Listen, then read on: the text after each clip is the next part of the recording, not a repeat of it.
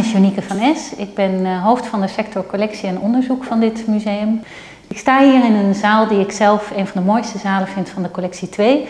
En um, we hebben een kleine meesterwerk uh, genoemd. En dat um, is eigenlijk om aan te geven dat om een belangrijk werk te zijn, je niet als schilderij hele grote afmetingen hoeft te hebben.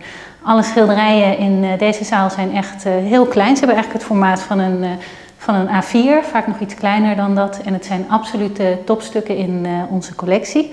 Ze vertellen ook iets over de samenstelling van de collectie van uh, het Boymans. Want uh, vooral particuliere verzamelaars hebben veel werken aan het Boymans geschonken. En particuliere verzamelaars die woonden in woonhuizen, niet in paleizen zoals um, prinsen en koningen. En die woonhuizen hadden kleine afmetingen, dus veel van die werken zijn ook niet bijzonder groot. Het schilderij um, waar ik eigenlijk in het bijzonder even bij wil stilstaan is uh, dit schilderij van de Franse schilder Odilon Redon.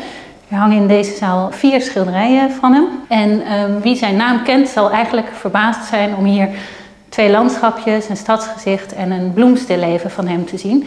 Want hij is eigenlijk vooral beroemd geworden als een kunstenaar die hele mysterieuze voorstellingen maakte, vooral in, in zwart-wit heeft tot en met zijn 40ste levensjaar ook alleen maar in zwart-wit gewerkt. Hij is pas later kleur gaan gebruiken.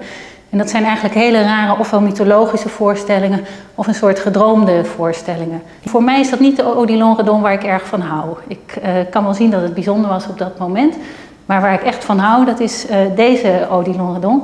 En dat is de Odilon Redon die eigenlijk uh, heel goed kijkt naar de dingen om hem heen. En we zien hier dit kleine landschapje.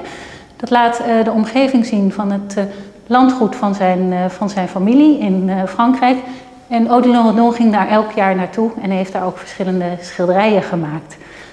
Um, het wekt verbazing aan de ene kant dat iemand die zulke mythologische en droomachtige voorstellingen maakt, ook dit soort heel precies geobserveerde schilderijtjes maakt. Maar dat had alles te maken met um, eigenlijk wat Odilon Redons leermeester Corot had gezegd.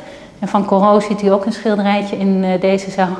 En die had gezegd, als je echt goed wil leren schilderen, moet je elk jaar naar dezelfde plaats gaan en daar dezelfde boom schilderen. Ik denk niet dat, dat, dat hij daarmee heel letterlijk op dit schilderijtje heeft uh, gedoeld. Maar als ik dit schilderijtje zie, is dat wel waar ik meteen aan moet denken, aan die uitspraak van uh, Coron.